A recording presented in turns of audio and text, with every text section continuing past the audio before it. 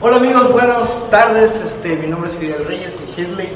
Estamos aquí practicando Lima Lama y este, estamos platicando acerca de la defensa personal para damas y este, estamos platicando de puntos vulnerables.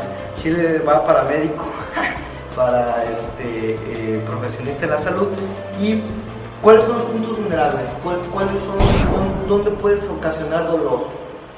Pues puede ser en ojos, nariz, orejas, garganta, rodillas, en el pecho y en partes bajas. Ok, ok. Entonces, la idea de la defensa personal, a lo mejor ahorita eh, en las próximas cápsulas puedes ver algo de dónde golpear, pero la idea es que memorices o que tengas entendido. Entonces, nariz, aquí, ¿verdad? En, en esta parte de acá o como, ¿dónde? Aquí, ¿no?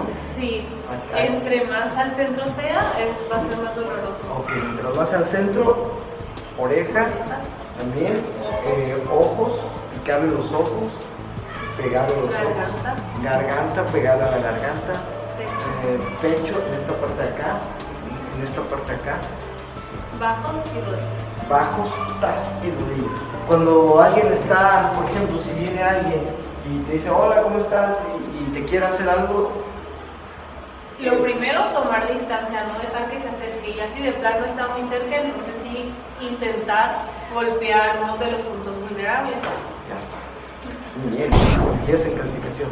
Bueno amigos, espero que les guste y esta es una cápsula de defensa personal. Gracias.